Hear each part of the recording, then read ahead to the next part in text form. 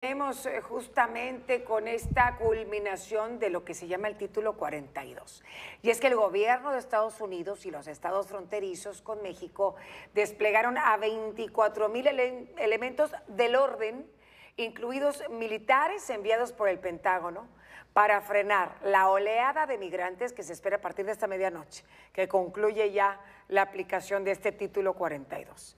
Los puntos críticos para las autoridades de ese país son el paso de Brownsville y Laredo, donde se espera un caos migratorio, pues se calcula la llegada de hasta 12 mil migrantes por día, lo que va a rebasar su capacidad para aceptarlos o deportarlos. Y esta mañana el presidente Andrés Manuel López Obrador informó que tras la conversación telefónica que sostuvo con su homólogo de Estados Unidos, Joe Biden, se acordó ayudar en todo al gobierno de ese país para evitar que se descontrole el flujo migratorio ante el fin del título 42.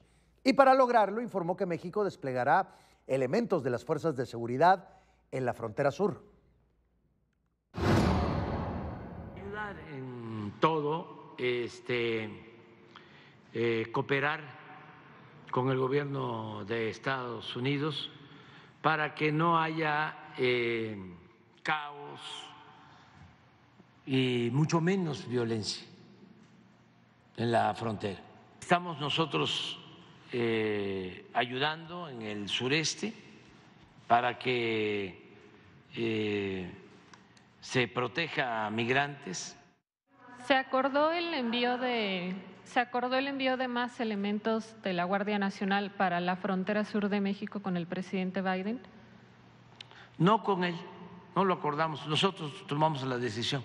¿Habrá un reforzamiento en la frontera? Pero llevan este, instrucción de eh, no utilizar eh, la fuerza.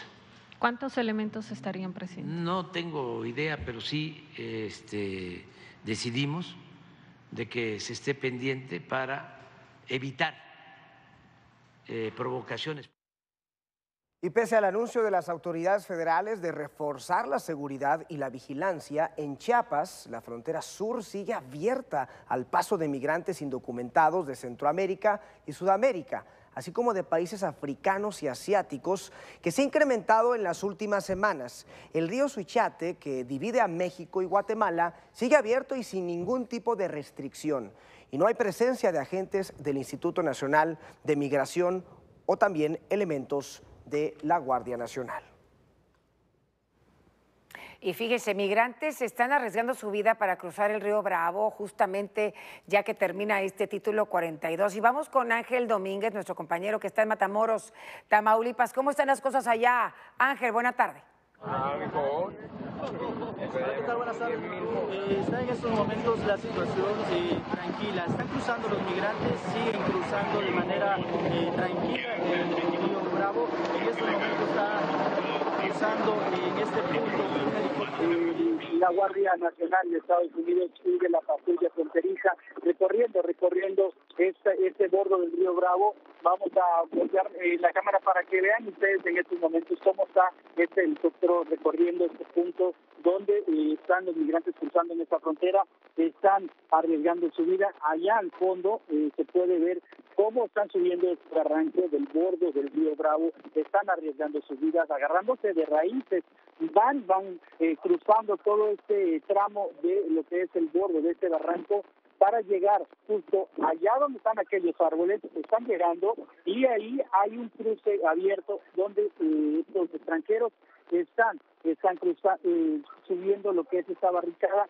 y eh, como vemos allá al fondo pues están caminando rumbo hacia el centro integrador. Las autoridades estadounidenses no los están deteniendo ni les están prohibiendo el paso. Del lado mexicano el Instituto Nacional de Migración está tratando de contenerlos para que eviten eh, cruzar el río Bravo no se arriesguen. Ahí al fondo estamos escuchando cómo cómo están con altavoces diciéndoles a, estos migrantes que no crucen hacia los Estados Unidos, que no arriesguen su vida, pero esto es imposible. Los, migrantes tienen eh, la intención de llegar hacia Estados Unidos. Están siendo expulsados de manera inmediata de lo que son estas autoridades de, la patrulla fronteriza y de, de inmigración quienes los cruzan de manera inmediata, los regresan hasta el lado mexicano. Esto, pues, ante eh, la situación que se vive de no se deben eh, de estar cruzando hacia Estados Unidos. Aquí vemos cómo siguen tirándose en el río, aquí en esta frontera tamaulipeca, en donde, pues mire, esta mujer está eh, subiéndose a los hombros de lo que podría ser su esposo, su novio, está en estos momentos pues arriesgando la vida de los dos al cruzar por este río. Acá también está otro otro eh, hombre con su hijo intentando cruzar, arriesgando eh, la integridad de estos menores. Son cientos de eh, menores de edad que en estos momentos, en los ocho puntos que hay del río Bravo, están cruzando hacia Estados Unidos, están están arriesgando su vida. Unos a través del río y aquí en este tramo estamos, está bajo el nivel del río, están cruzando de manera, caminando a través de las aguas del río Bravo, pero la situación se prevé que pudiera estar así todo el día, Maru. Sí, Ángel, estamos viendo estas imágenes donde, bueno, sabemos que día a día en la frontera con Estados Unidos los migrantes eh, de muchas nacionalidades eh, de Centro, Sudamérica, de México arriesgan su vida. ¿Por qué la urgencia? ¿Por qué, ¿De qué se va, de qué trata este título 42? Este título 42 se instauró justamente con la pandemia del COVID-19. La instauró el presidente Trump. Eh, ¿De qué va? ¿De qué va? De que por la emergencia sanitaria la gente que eh, cruzaba y era detectada tenía una expulsión, digamos, express hacia México sin tener eh, alguna consecuencia legal, alguna consecuencia penal para los migrantes. Termina el día de hoy este título 42 y entra lo que comúnmente eh, se conoce como el título 8, que era antes de la pandemia, que lo que pasa es que si detectan algún migrante, lo devuelven a su país de origen, lo deportan, no lo regresan a México, sino a su país de origen y puede tener consecuencias legales y penales. Por eso hay tanta gente que quiere cruzar ahorita en todos lados. Ángel, y se está reforzando, ya lo decíamos, el número de elementos. Veíamos un helicóptero, Ángel, ahí dando pues rondín por la frontera, Ángel Domínguez.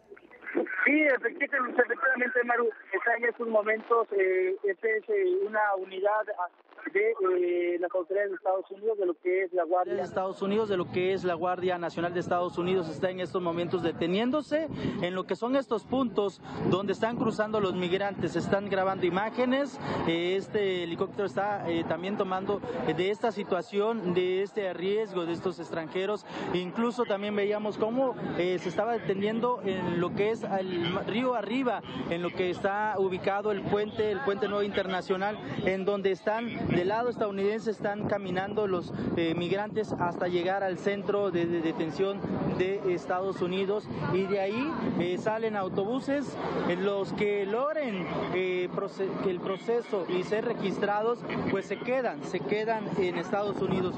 Los que no son regresados, son regresados hacia, hacia lo que es esta frontera tamaulipeca aquí en la ciudad de Matamoros, Tamaulipas, Maru. Estaremos, por supuesto, al pendiente de lo que suceda a partir del día de mañana y, bueno, lo que sigue, obviamente, de este día y cómo va a estar la situación el día de mañana. Gracias, Ángel Domínguez.